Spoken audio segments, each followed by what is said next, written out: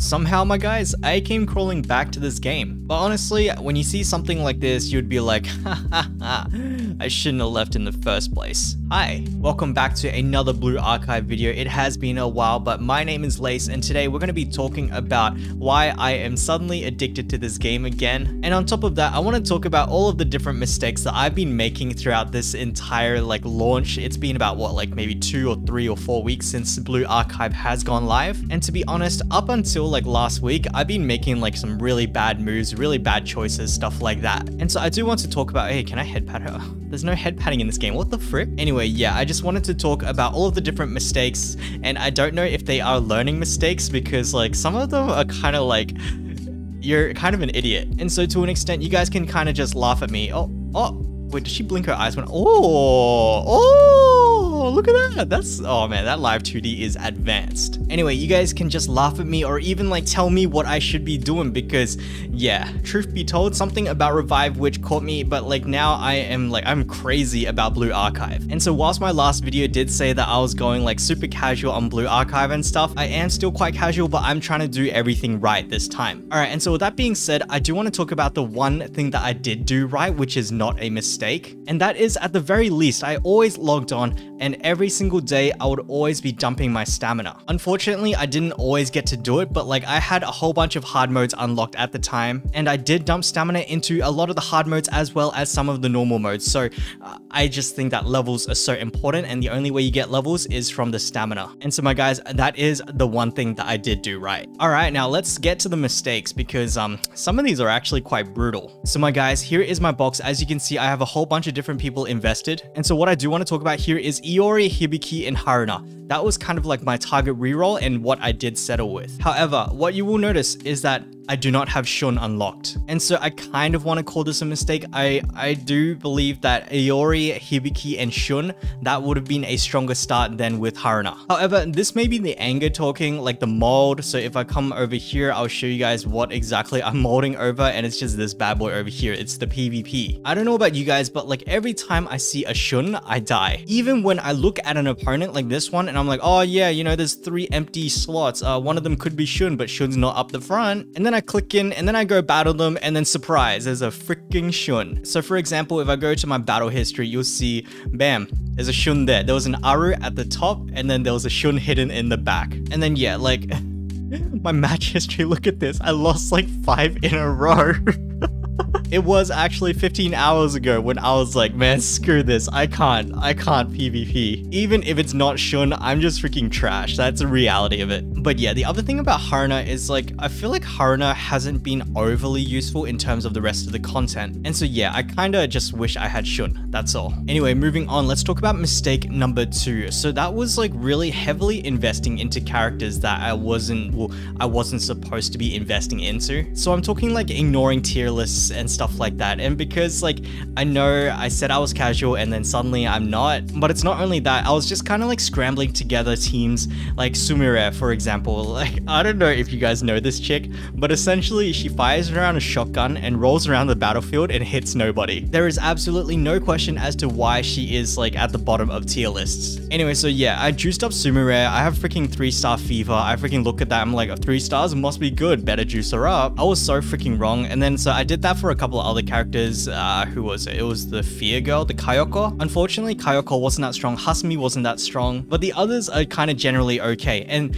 I know that my box, like to you guys who are more meta followers, it kind of looks good. But just remember, a few days ago, before I started going crazy about Blue Archive, I did not have the Nonomi raised up. I did not have the Serika raised up. I did not have the Akari. I did not have the Fuka. I did not have a lot of these great characters, like these great two-star characters leveled up. And so that's kind of my mistake, my regret regret. I wish I just like paid a little bit more attention to like the team building, the team comp aspect, because that's pretty much the entire game. All right, and so my third mistake. So you guys see Nonomi over here. You guys will recognize Nonomi from the unlock of the uh, the completion of all those beginner missions. So if I come back over here, and so it's gone now, but there used to be a button over here which is like, oh, we have like these missions across seven days. If you complete all of them, then we'll give you Nonomi. And so me being the dumbass I was, I held those Nonomi shards for a very, very long time. So she was down here and it was like, oh, you can activate Nonomi now. And I freaking held onto this mother effing S tier unit for a long, long time because I thought that you'd be able to recruit her. However, I was so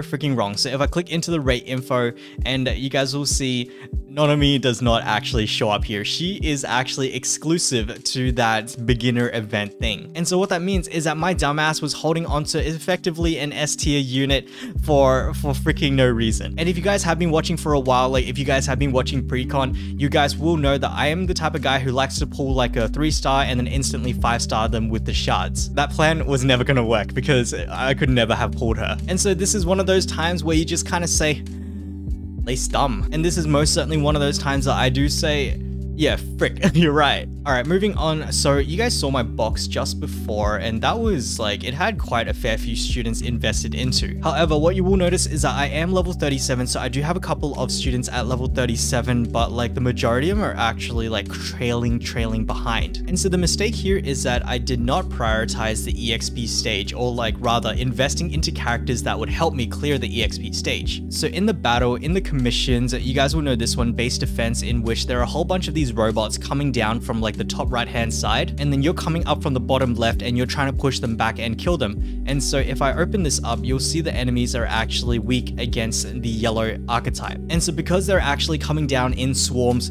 you're very much going to need the AoE yellow attackers. And so the two key characters for this game mode are actually Nonomi, which I did not unlock until very, very recently. This badass lady over here because she does a massive, massive cone-shaped yellow attack. And on top of that, we're looking at Junko. So obviously, if you guys did watch my last video, you will know that I remembered about Junko. Junko is a fantastic AoE yellow attacker to help me clear the yellow content. And so on her EX skill, level 1, she is able to still at this point in the game, one hit all of those little robot dudes. However, the real star of the show is Nonomi. Nonomi just has a massive, massive cone. The AoE is insane. And so what I mean by like not investing enough into her is I did not get enough of these things over here to be able to get her EX skill up. And so as you can see, 497% attack up to 627. I think that most people are actually going to be blocked by not having this EX skill unlocked or evolved. Because I can tell you that I am almost able to one hit everything with this skill,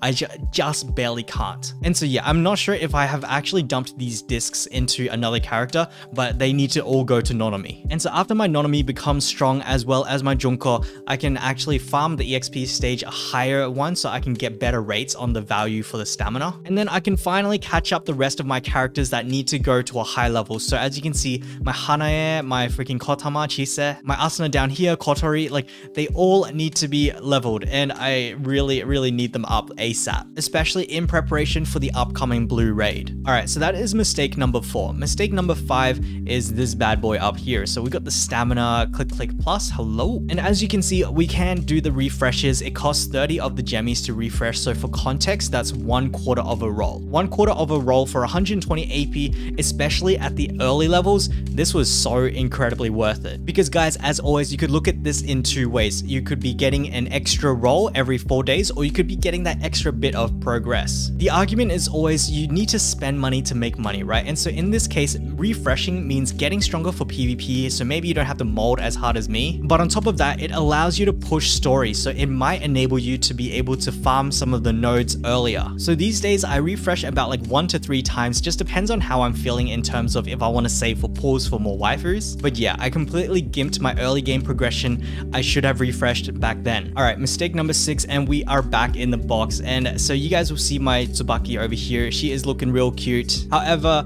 I did not always have Tsubaki, especially at the end of the reroll. And so this is probably one of my biggest mistakes, one of my biggest regrets because I didn't have Tsubaki and I was getting screwed up in all types of content and I ended up sinking 100 rolls into the previous banner for her. In those 100 rolls, I did end up getting Shiroko as well, but Imagine, imagine spending a hundred rolls to get a two-star unit. And so if you guys are watching this and you aren't actually in Blue Archive yet, then I would highly, highly suggest that if you do go for any account, if you do go for a reroll, it's gotta have Tsubaki in it. If not Tsubaki, then at least another tank like Hoshino, or something like that. But I didn't have any of them. I only had my Yuka, and so I freaking rolled a hundred times for this two-star. All right, so mistake number seven is actually crafting. So I was actually ignoring crafting for a very, very long time. And unfortunately, I can't show you like what I'm crafting right now, but essentially I'm crafting two things, furniture and student gifts. And the more important one between the two are actually the furniture pieces. So if I come over here, come over to the cafe. And so guys, welcome to my home. It is a humble abode. It is, it is an abomination.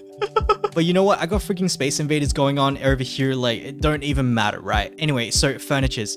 Furniture, the main purpose of furniture is actually to juice up your comfort. So as you can see, I have capped out on comfort right now. However, for a very, very long time, this space was empty and my comfort was at like 500 or whatever the default was. And so my guys, comfort is actually extremely important because, uh, well, I can't see anything there, but this one, cafe earnings, the more comfort you have, the more earnings for both energy as well as the currency you can get. So this bad boy is at 9.29. I'm pretty sure when I started paying attention, it was at like three or something. And so obviously more stamina means more EXP. And so hopefully over time, you'll get stronger and stronger with more of this comfort that is providing you with more of this. And so if you guys have not maxed out your comfort, go on and do the crafting. Make sure that your, uh, your cafe kind of looks like this. And so yeah, that's it for the cafe really. In terms of like why gifts, I think the only way to get gifts is actually from crafting at this point in the game. Otherwise, if you're done with your furniture, if you're done with your gifts or you don't care about them, then you can probably look to craft the EX skill upgrade materials. But other than the benefits of the comfy,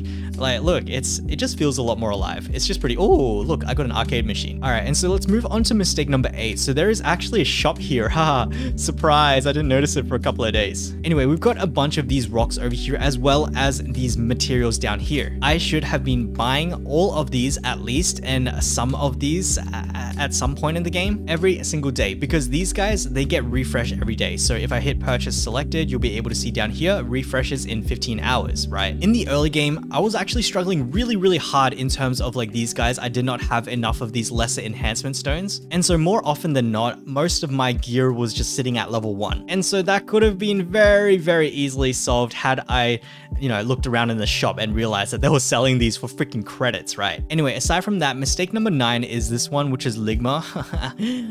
so Ligma, I don't know if they're very culturally aware or whatever, but like essentially what we should have done at the very, very start of the game is essentially buy two, no, I can't remember how many, but buy enough Elephs for Tsubaki to go from 2 star to 3 star because 3 star is where her real tanking capabilities come out. And also on top of that, uh, Serena, Serena, I don't see Serena. Yep, she's over here. So Serena, Serena, you want her to go from 1 star to 2 star, which will unlock her third skill. That third skill will boost her healing by I think 14% or 24. I'm pretty sure it's 14%. But yeah, that is pretty much the first thing that we should have done. Serena, I believe, is not farmable like in any way. And so a small investment of a million dollars or 20 Eleph approximately will get her to 2 stars. And so the reason that I'm targeting these two is because they would have made early game so much easier. Honestly, they make like even end game a lot easier. And I did mention that Serena was not farmable, I believe Tsubaki should be very farmable very, very soon. In the upcoming event, I do believe that we will be getting a lot of Tsubaki Elephs, and so hold out for that if you are at this stage, if you are still at the 2 star, because we probably can juice her up quite a fair bit thanks to the event. Alright, and so with that being said, let's go to tip number 10, which is not trying hard enough in Sushi Man. Like, oh my god, I hate Sushi Man so much. so Sushi Man is just this one over here, Overpass, Desert Railroad, and Classroom, and essentially you are fighting red characters. So if I click into the enemies over here, you can see that they are all light armor, or rather we will need red teams to beat these. And so for a very long time, I was just doing like Overpass C or like Overpass B or something, and then I was just skipping that every every day. And there were several reasons for that. The main reason was that I was just underleveled and I just couldn't do it. Because for this one, you do need to take advantage of the academy buffs. You do need to be juicing out so many characters. Like if you can imagine it, you need three teams, right? Because like one for each of these, and then you need four characters per team, if not up to six, including supports. So potentially three teams and four characters, that's like 12 characters that you need. And if you are using the supports as well, that could go up to 18. But of course, a lot of characters can be carried over, but that would kind of be like the optimal team, right? So like I said, I just did not have enough EXP to go around because I could not farm the EXP stage efficiently. And unfortunately, I could not farm the EXP stage efficiently because I did not juice up my Nonomi, or rather,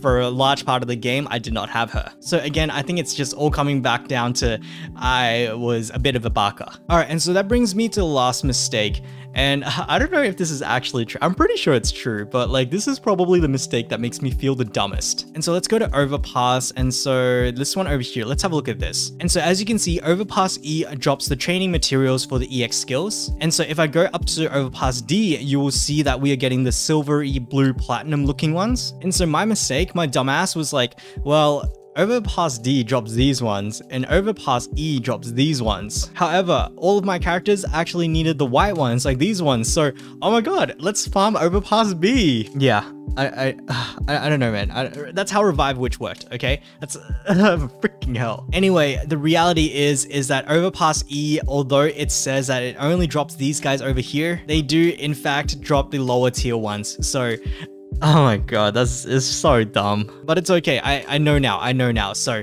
and hopefully you guys know now too. Alright, and so that's kind of it for all of the mistakes that I've been making throughout these last few weeks. I hope you guys did learn something, but if not, then just like call me a dum-dum in the comments. But otherwise, I think it's time for you guys to give me some tips. Is there something that I should be doing that I like clearly am not? Or should I be prioritizing some of the different characters that like I clearly have not invested into, such as uh, like the? That most of them I do know about, but maybe there are some hidden sleepers that I just did not get to. And so my guys, give me the tips, but otherwise I hope you guys did enjoy this video and if you would end up leaving a comment, then I would really appreciate it because it means you watched up until the end of the video. But otherwise, please consider a like on the video and a subscribe, but as Haruna once said, all good things must come to an end. And so thank you guys so much for watching and I'll catch you guys in the next video. Bye bye.